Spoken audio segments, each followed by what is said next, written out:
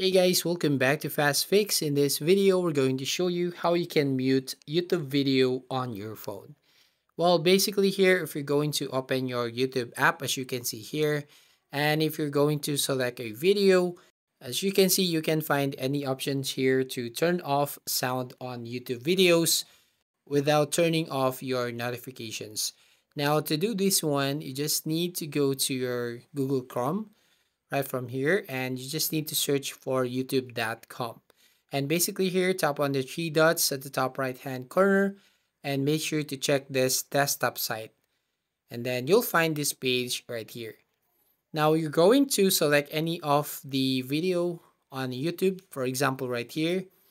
Now at the bottom left you'll find an option which is the audio logo right from here. So if you're going to tap on that it will basically mute the YouTube video. So that's how you basically turn off sound on YouTube videos. So if you find this video helpful, please consider to like and subscribe to this channel and don't forget to hit the notification bell to notify you on the next video.